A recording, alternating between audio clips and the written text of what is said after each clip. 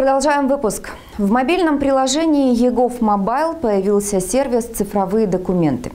Скачав приложение на телефон, можно получить электронную копию удостоверения личности. Однако пока цифровая версия документа не имеет юридической силы, но ее можно использовать в местах, где не требуется оригинал документа.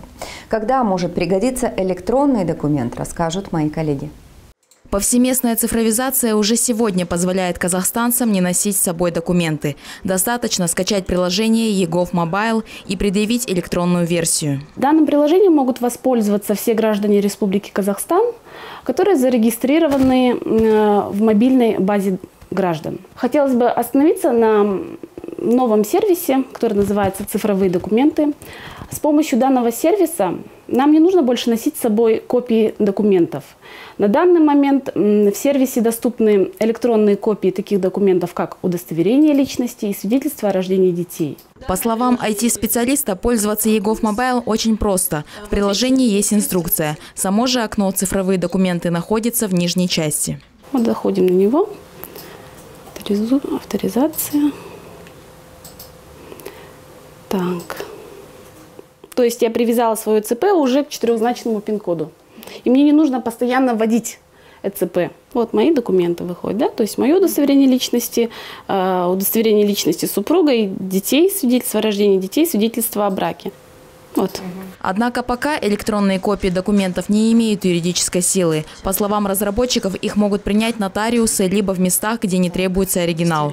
Мы обратились за разъяснением к юристу. Это достаточно удобно, но, на мой взгляд, э, предстоит еще большая работа по внедрению вот этого реализованного проекта, потому что в действительности, что у нотариусов, что в судах, что в адвокатской деятельности, зачастую сталкиваешься с недобросовестными гражданами. То есть тут, я полагаю, необходимо будет нести ряд изменений изменений в нормативно-правовые акты, регулирующие вот эти правоотношения. По словам юриста, сегодня не все желаемые процедуры можно совершать у нотариуса при предоставлении электронного удостоверения.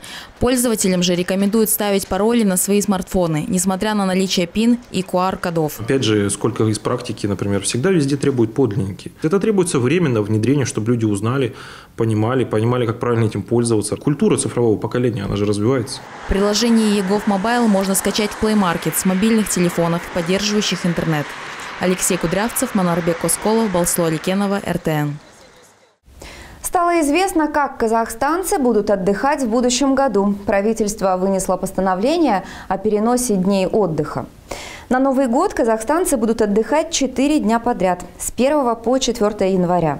Но взамен этому 5 января, воскресенье, станет рабочим днем. Соответственно, 5 и 6 будут рабочими, а затем вновь выходной 7 января празднуется Рождество. Четыре выходных подряд будут ждать казахстанцев и в мае с 7 по 10 число. Следующая долгая череда праздничных дней выпадет уже на декабрь. На День независимости в 2020 году можно будет отдохнуть с 16 по 19, а 20 декабря, воскресенье, станет рабочим днем. Только 20% жителей страны хорошо знакомы с программой «Рухани Жангыру». Перед чиновниками стоит задача довести ее до каждого казахстанца. Именно поэтому в Кустанае решили провести семинар для госслужащих, которым предстоит сделать программу доступной и понятной для населения. Как реализуют программу с помощью необычных праздников, строительства детских площадок и привлечением волонтеров, расскажет Балсло Аликенова. Лисаковские чиновники решили, что внимание к программе «Рухани Жангару» необходимо привлекать через проведение необычных праздников. Недавно в городе прошел День Айрана, когда кисломолочный напиток раздавали бесплатно, а самое главное – учили, как его готовить. «Рухани Жангару» предполагает э, модернизацию, то есть мы э, хотим обратно вернуть эти традиции, то есть сейчас э, молодежь не знает рецептов айранов, которые готовили наши, наши деды, бабушки. У программы есть свои направления. Одно из них – Тарбие Жене Белим – воспитание и знание. Активисты офиса Рухани Жанхару принимают участие в благоустройстве города. На данный момент реализуется э, именно проект э, по воркаутам, детским и спортивным площадкам, который, бы, ну, который заинтересовал э, и интересует наших жителей, потому что спорт – это сила, спорт – это наш наше будущее. Сегодня на базе Кустанайского педуниверситета одни чиновники делились с другими. Как привлечь внимание рядовых жителей к Рухани Жангру. Опыт лисаковчан пригодится многим, считает организатор семинара. Также сегодня будет у нас блог про продвижение Рухани Жангру в соцсетях. Там будем выступать, обсуждать, как правильно представлять свои проекты именно в социальных сетях. Отходить от того, что Рухани Жангру – это просто учиться, и люди не понимают. Просто нужно вчитываться и вытаскивать оттуда те моменты, которые людям будут интересны. Одним из приглашенных спикеров стала гость из столицы Жанар Буканова. Она рассказала, как программу будут доносить до жителей страны. Нам нужно, чтобы люди не просто прочитали, но и вовлеклись в эту программу. Мы планируем уже со следующего года вовлечь в эту работу волонтеров. То есть мы сегодня будем готовить, э, ну, я не знаю, послов изменений, да, или же агентов изменений.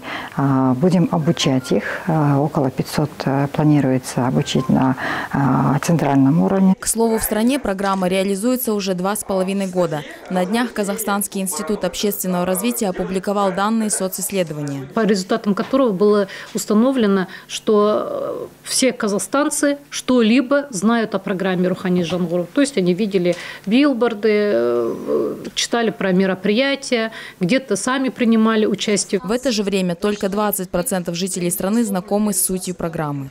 Алексей Кудрявцев, Балсло Ликенова, РТН.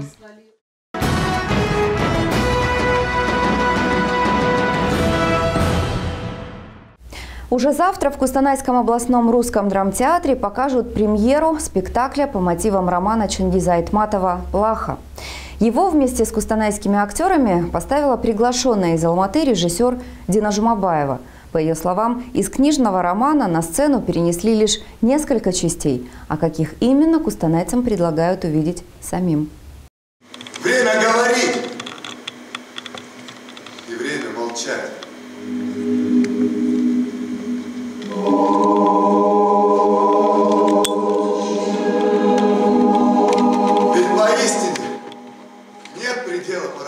Это окончательный прогон нового спектакля областного русского драмтеатра. Куснайские актеры впервые участвуют в постановке по мотивам романа Чингиса Айтматова «Плаха».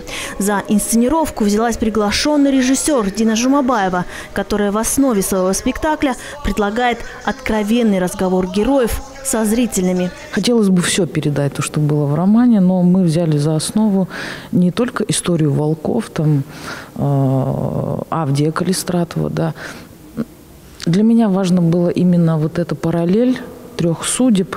Это судьбы волков, Авдия и Бостона, да, в финале, да, когда он убивает волчицу вместе с ребенком.